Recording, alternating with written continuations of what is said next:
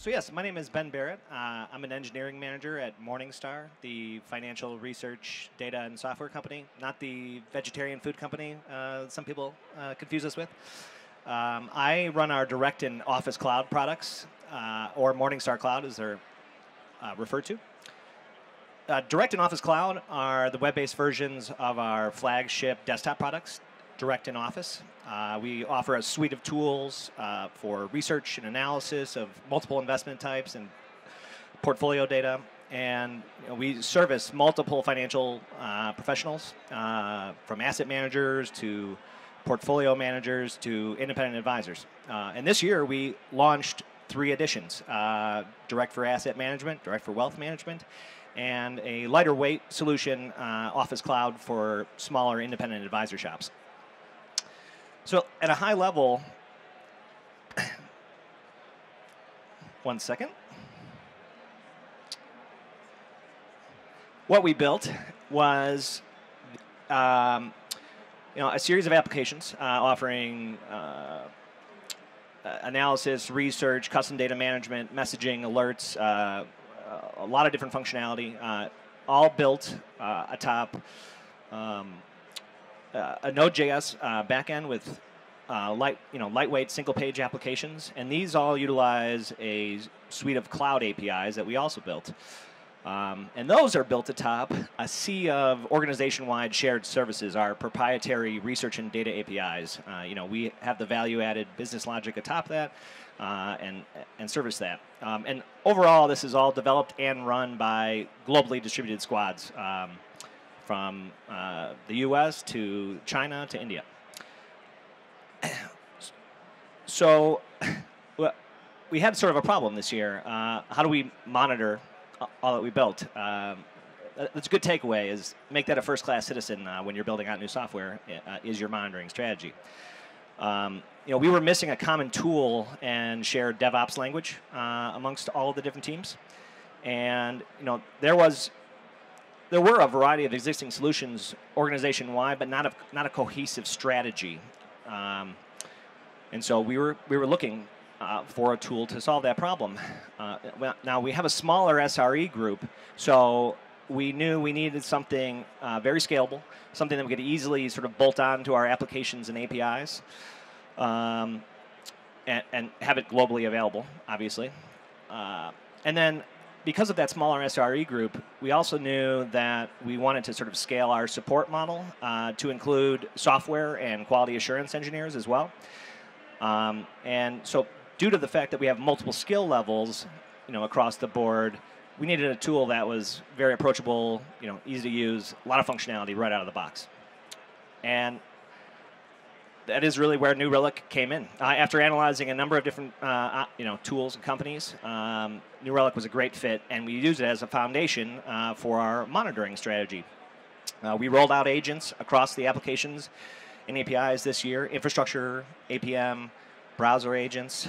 We did a lot of custom instrumentation to allow for deeper transaction tracing for you know that full stack view, if you will. Um, we added synthetics to do simple pings and uh, assess critical workflows throughout the system. And we built some great dashboards in, in Insights uh, to, you know, to analyze performance over time and other key metrics. Uh, but we had sort of another problem uh, at, at, this point is we have all of this great monitoring in place, uh, but but who's looking at it? And uh, New Relic had an answer for that as well. Uh, so, so, so how do we observe and react to what we're monitoring? Um, this is where we highly utilize uh, New Relic alerts and alert policies and conditions, and the great functionality that comes right out of the box. Uh, we sort of broke all of our alerting strategy into three categories, if you will: infrastructure-based uh, alert policies, uh, application, and API. Relatively straightforward within each one of those alert policies, uh, we have tailored alert conditions. So for the infrastructure, ranging from you know CPU and memory monitoring uh, to uh, performance uh, degradation and error rate threshold, uh, you know, crossing, um, and more advanced uh, monitors for key transactions. tied into those alert policies, you can tailor your alert distributions. Uh, so we can send out via email or via the mobile app, uh, or even uh, utilize a webhook into uh, into Slack for you know, our, our, our general chat application. And um, and and we built all of that in mind with that rotating support model, uh, you know, comprised of site reliability, software, and quality assurance engineers. So, if any of those uh, alerts fire, uh, you know, they will go they will go to our rotating support, and they will acknowledge those those alerts, and that too is supported very well with New Relic. Um, there's, you know, you can see a screenshot from uh, an alert popping up in our Slack channel. Has an easy click through right to sort of the incident uh, incident management and acknowledgement page within New Relic, uh, which is this is a key critical workflow that we utilize. Uh, it can be done via the mobile app or even in the web app. Uh, and then you further utilize the tool the tooling throughout New Relic and uh, the different modules to, to help with that triage. So you know once you've had the alert to the incident and you acknowledge the incident, that's when you start your triage, right? And you can escalate from there. But for, say, performance degradation, that's where you utilize uh, APM transactions. Uh, for error rate uh, thresholds, uh, that's, that's where you utilize incident contexts and, and error analytics and error profiles, all the things that just come straight out of the box. And then finally, as, uh, as I said, we didn't instrument the entire stack, you know, across all organization-wide shared services. Uh, but this is where the custom instrumentation uh, comes into place. Really easy to plug into your into your software, and then you can take sort of the key attributes that you are instrumenting and utilize those in other third-party uh, tools such as Splunk, uh, which we use, which is uh, utilized everywhere throughout our organization. So we solved some major problems this year.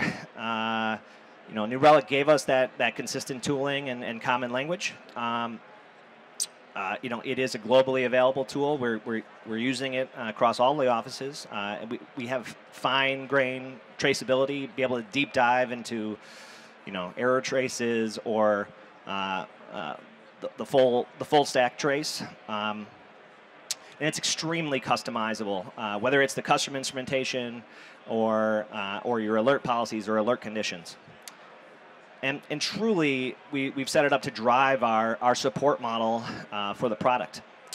You know the, the, like i said the tailored alert policies and conditions and distributions like you know you you have extremely fine grained control there.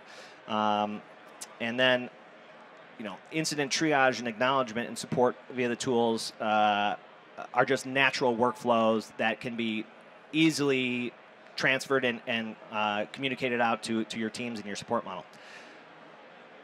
And I would say the biggest takeaway for me this year, um, it's potentially obvious, but uh, is, is, that your monitoring and alerting strategy needs to change along with your software, right? It, it, it's not static. You know, your software is constantly changing. Your monitoring and alerting has to change along with it. So you need to put processes in place and you know, having a solid tool like New Relic is uh, is a great foundational element. You know, this it is a constant evolution uh, in terms of updating your monitoring and alerting strategy. Uh, and, and, we have a clear roadmap. Um, you know, we want to add additional agents and expand our service map and get better full stack traceability throughout the organization. Um, we want to utilize new features such as distributed tracing, uh, you know, which has enhan- enhanced transaction tracing and pattern analysis. Uh, further custom instrumentation enhancements. Uh, you, you, can imagine a whole bunch of uh, requests going through a particular route, but they might have different flavors, and you, you can instrument those in, in, in a variety of different ways. Uh, we need to constantly tailor uh, uh, the alert policies and, and, and conditions and overall noise calibration changing along with your software as it, as it evolves. Um, we, need to, we need to curate uh, our insights dashboards and so we have uh, great metrics and, and, visibility to, to other port, parts of the company. Uh, and then finally, we want to integrate with PagerDuty uh, to help facilitate sort of the our rotating support model and escalation. Uh, and this is extremely uh, it's very pluggable and easy to do right out of the box with New Relic. Um, that's pretty much all I had. Um, if anyone has any questions, uh, you know, I'm, I'm, feel free to uh, come grab me over there after the session. And uh, yeah, that's that's it. Thank you very awesome. much. Awesome. Thank you, Ben. Awesome. Awesome. Does anybody have any questions for him to address in front of the class? All right, here we go. I saw you are using Splunk also. Uh, where is it used for? Splunk. Oh, so we do have. Uh, if there is one common tool that we have, uh, it is Splunk for logging. We all all of our APIs and applications throughout the organization. We do log to uh, well multiple Splunk uh, indices. So that does give a common thread for tracing. The problem is like some of the you know adding a 1% error rate threshold and, and instrumenting that across the board readily out of the box with Splunk is not very easy to do uh, and requires uh, a lot more know how. it's not overlapping with New Relic, what you do. No, it's complementary 100%.